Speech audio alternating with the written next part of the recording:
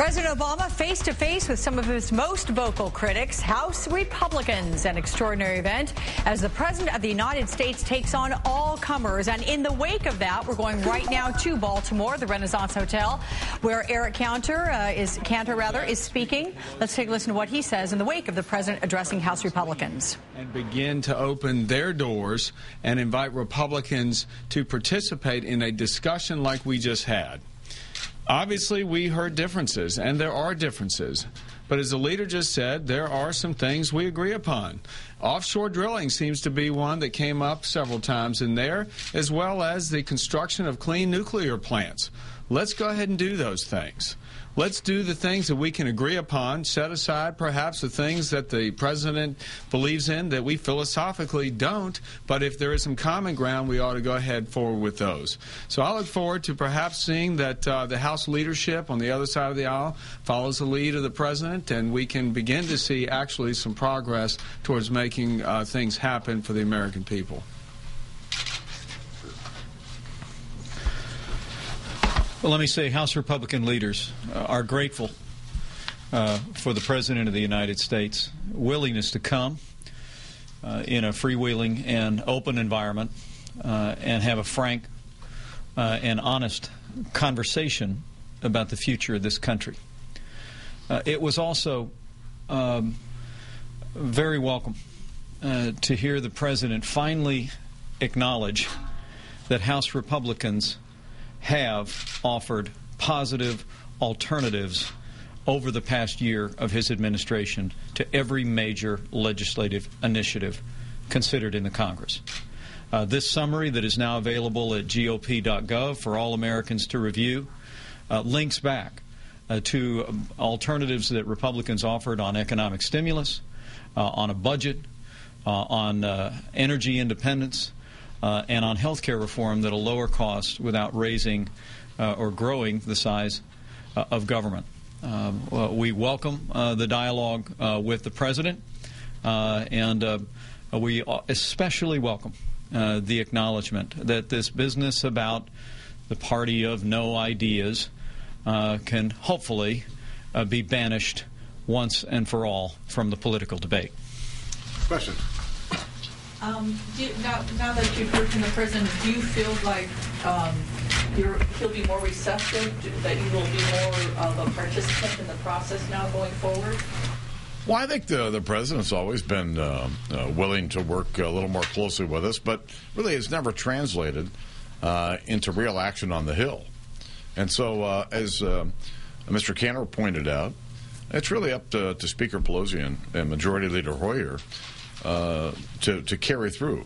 I think uh, I think the president will carry through in terms of having uh, more meetings with us, having more discussions with us.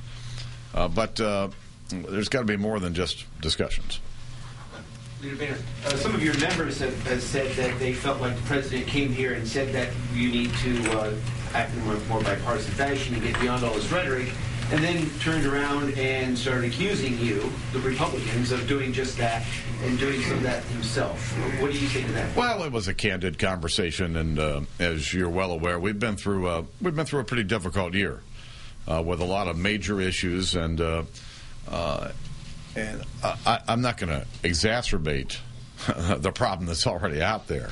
Right? Today was a good first step uh, in in having a, more of a dialogue and I hope it continues. Mr. Leader. Obama did keep talking, though, about how Republicans need to stop talking so badly about the Democratic Party and, and stop these attacks all the time. But wouldn't you say that Democrats do exactly the same thing to you? Did you think that was fair? Uh, listen, when I uh, have issue uh, with some of their proposals, uh, I, I, yeah, listen, I try to be honest about it.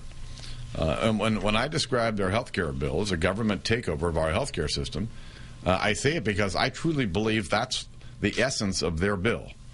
And we can go down through all of it. And so uh, I'm going to do uh, what I think I have to do. And I think our leadership team, uh, we're going to try to be honest in our assessment of those policies uh, that we disagree with. But every time we do disagree with their policy, you'll continue to see us put forward what we think is a better solution. I think that's an honest way uh, for the minority in which to operate. Yeah.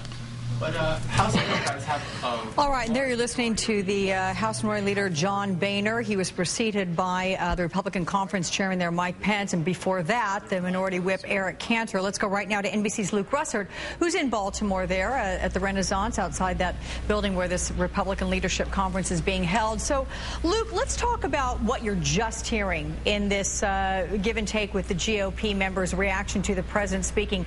Are you getting a, a sense of a tone that they want to work with him and they're going to make their best effort to do so, which really is the bottom line here? Yeah, no, absolutely. Uh, President Obama said uh, in his message to them today that he would like to do this monthly, uh, meet with the House GOP. They seem willing to do it. And uh, you're talking, I think the politics right there is really interesting is how the GOP is saying, okay, Obama is willing to listen to us, but now it's Speaker Pelosi and Steny Hoyer. They have to do it too to bring us in the room.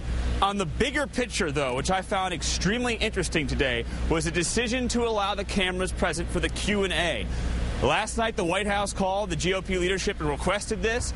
I, it, it, it's obviously turned out to be a brilliant political move. Tom Cole, former head of the NRCC, congressman from Oklahoma, said, quote, he scored many points. He did really well.